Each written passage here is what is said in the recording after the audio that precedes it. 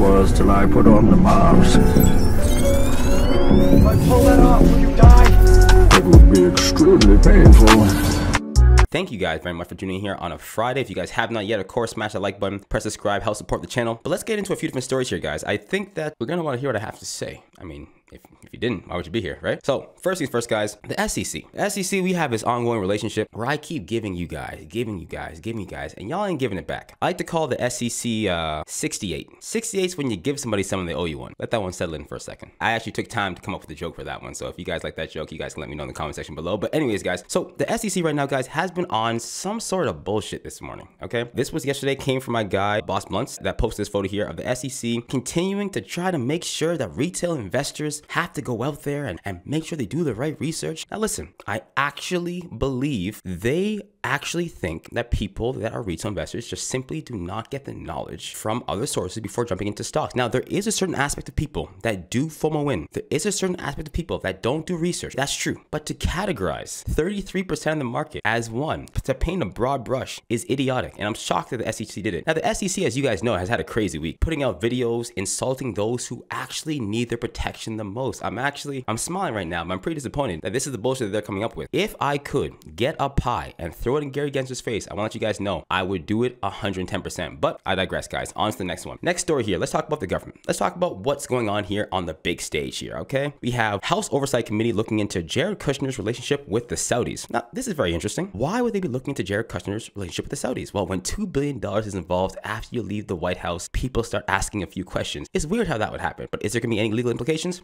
Probably not. Don't hold your breath. Jared Kushner's close relationship with Saudi Arabia has long drawn scrutiny. Now it's the subject of House investigation. House Oversight Committee Chair Rep Carolyn Maloney on Thursday sent a letter to Kushner seeking information about a $2 billion investment the Saudi government made into Kushner's brand new investment firm just six months after he left the White House. Now, it's well known. People go in the White House, they don't get paid big bucks, but they do get a certain I don't know, a certain lift. Uh, they get a certain bar raise. They get a certain pay grade once they leave the White House, right? You have presidents that go there that write books. Everyone does it. It's not a huge deal. They come famous because of the president. They, they cash on the way out. Now, if you're working for the government and you're working for the people and you're negotiating things for your exit of the White House before you leave, and then when you leave, you get paid out in ways of investment firm investments, or several other things. It should be questioned that things that you're doing while you're actually in the house may not have been for the people or may not have been for the best interest of who you're supposed to be working for, guys. On to the next story here. My favorite people, Nancy Pelosi. How's it going, honey? How you doing? Now, this is the funny thing. I saw the story about Nancy Pelosi's husband getting caught for drinking and driving. And you know what I said to myself? I said, no.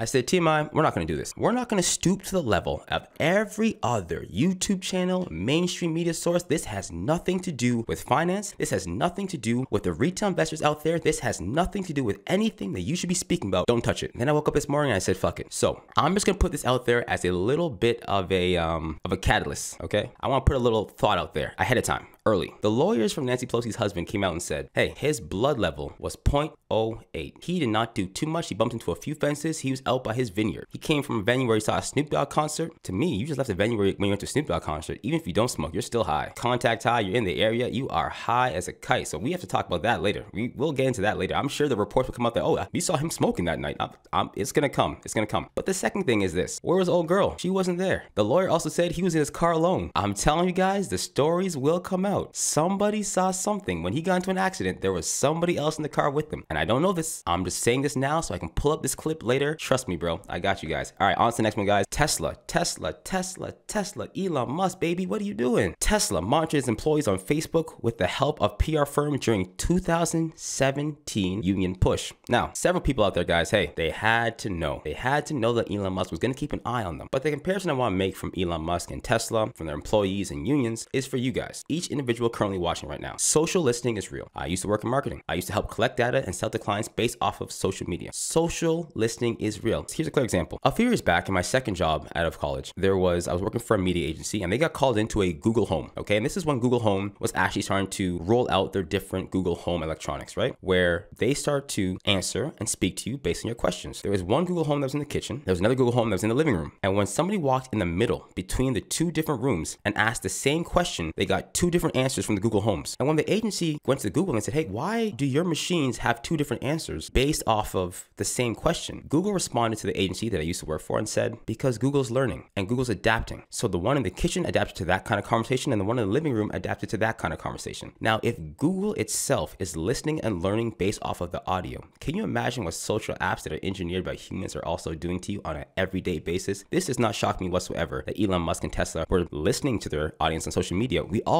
up to social media. We all scroll through, scroll through, scroll through, scroll through, and press accept without exception. So when you guys are out and about, this is why I wore the mask in the first place and create a completely different uh, platform because I knew if I did it on my platforms, I would be found out. People would be listening. People would know what the hell is happening on my old company and the upper management. It's just how it works. Okay. So if you guys want to do anything that's not exactly what your company wants you to do, different platform, different profile, different cell phone, make sure you guys are aware of the fact that they are listening. They might not let you know, but they are listening. I'm gonna stop right there for a second. I think we're gonna leave it here, guys. I do want to say really, really, really quickly, guys. This is the end of the week. It is Friday. We're not gonna go over any more stories. I want to get right into the market, but I do want you guys know. Thank you guys very much for the ongoing support. This was it wasn't a nerve-wracking week, but it was kind of a nerve-wracking week. Mask off after being mask on for the last year and a half. I appreciate the support, guys. We also did pass 32,000 subscribers for the TMI Live channel. So if you guys don't subscribe, you don't have to subscribe. It's okay. There are enough people out there supporting the channel and you know jumping in here every single day, and I do appreciate it a lot. If you guys have not yet, of course, engage with the video, smash the like button.